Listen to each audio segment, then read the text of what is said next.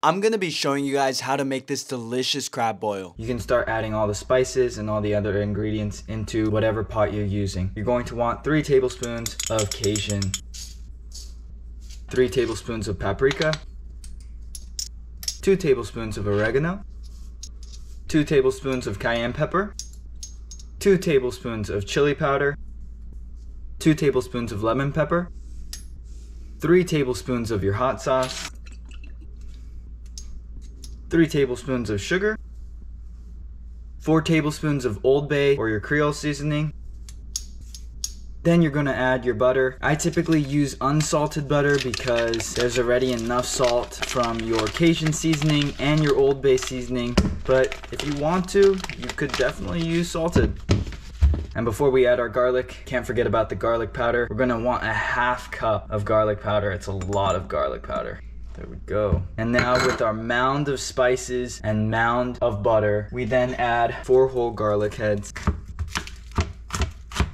and our one to two cups of lemon juice.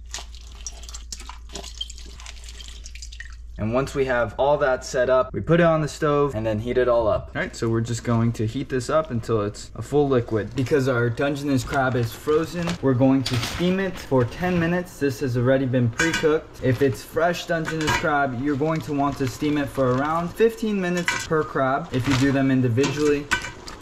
So that's three Dungeness crab right there. We're going to throw in the potatoes as well. So with all that in there, we'll cover it up. Then you're going to bring this mixture to a simmer to get it hot enough to cook the shrimp. Typically you want to use shrimp with the shell on.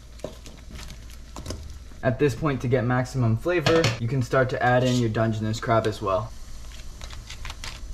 Then you can add your potatoes and just mix all of these together to make sure that the Dungeness crab and the shrimp get a lot of flavor into them. Once your shrimp turn pink, you can add in your corn and just mix that in.